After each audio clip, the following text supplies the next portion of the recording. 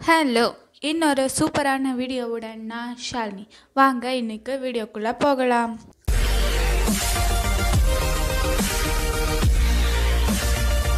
பொண்ணுங்க சராசரியாக உங்களோட வாழ்நாளில் ஒரு வருஷத்தை அவங்க இன்னைக்கு என்ன ட்ரெஸ் போடணும் அப்படின்ட்டு சூஸ் பண்ணுறதுலையே செலவு பண்ணுறாங்களாம் சாதாரணமாக ஒருத்தர் அழுகும்போது அவர் சந்தோஷத்தில் அழுதாருன்னா அவரோட கண்ணுலேருந்து மொதல் சொட்டு கண்ணீர் வலது கண்ணுலேருந்து வருமா. அதே அவங்க சோகத்தில் அழுதாங்கன்னா மொதல் சொட்டு கண்ணீர் இடது கண்ணுலேருந்து வருமாம் அதே இனிமே என் வாழ்க்கையில் ஒன்றுமே இல்லை இனி எதுவுமே நடக்காது அப்படின்ட்டு விரக்தியில் இருந்தாங்கன்னா அவங்க ரெண்டு கண்ணுலேருந்தும் மொதல் சொட்டு கண்ணீர் வருமாம் யாராச்சும் உடம்ப குறைக்கணும் அப்படின்னு ஆசைப்பட்டீங்கன்னா உடனே போய் அவங்க வீட்டோட ஃப்ரிட்ஜுக்குள்ளே ஏறி உக்காந்துக்கோங்க.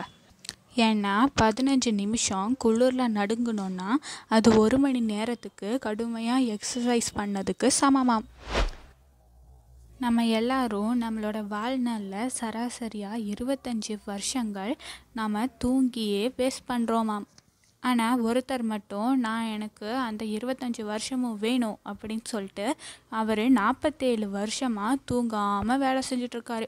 அவரை பற்றின வீடியோ நான் கீழே டிஸ்கிரிப்ஷனில் போட்டிருக்கேன். லிங்கை போய் எல்லோரும் பார்த்துக்கோங்க தங்கம் கோல்டு இதை பிடிக்காதவங்க யாருமே இல்லைன்னு சொல்லலாம்.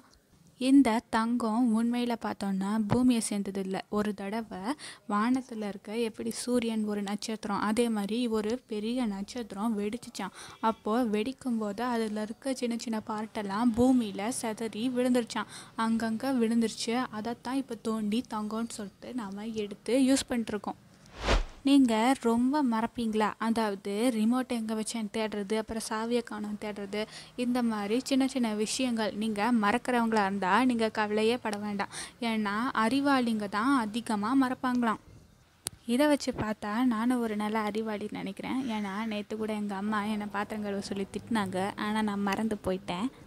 அப்புறம் கொஞ்ச நேரம் கழித்து அதுக்கு நல்லா சேர்த்து வச்சு வாங்கி கட்டிக்கிட்டேன். அப்போது நம்மளும் ஒரு அறிவாளி தானோ? பெண்கள் ஆண்களை விட ரொம்பவும் நல்லா வண்டி ஓட்டுவாங்களாம்.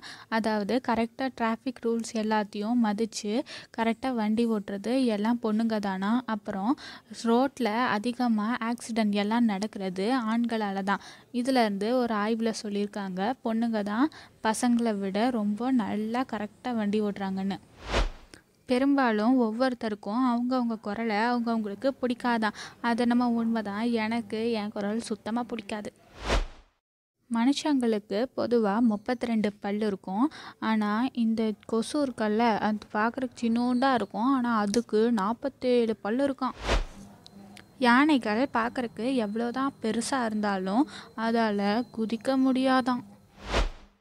இப்போது நான் உங்களுக்கு ஒரு புது பேனை வாங்கி கொடுத்தேன்னா நீங்கள் ஃபஸ்ட்டு ஃபஸ்ட்டு என்ன எழுதுவீங்கன்னு கரெக்டாக சொல்லிட்டா நீங்கள் உங்கள் பேரை தான் எழுதுவீங்க.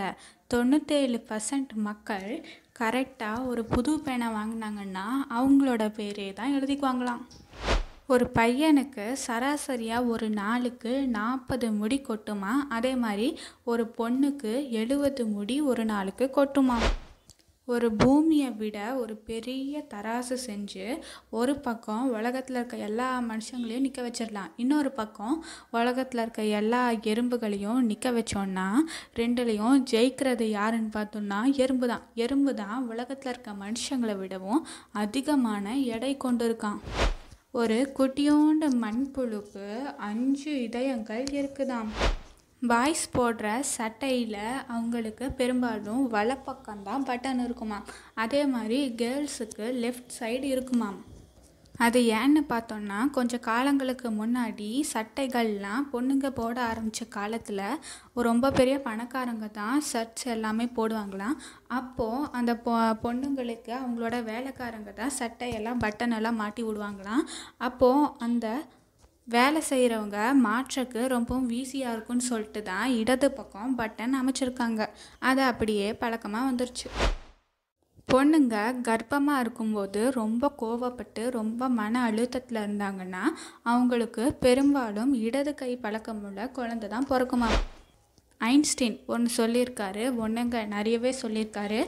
இந்த உலகத்தில் இருக்க எல்லா தேனி பூச்சிங்களையும் கொண்டுட்டோன்னா மனுஷங்க ஒரு நாலு வருஷத்தில் செத்து போயிடுவாங்களாம்.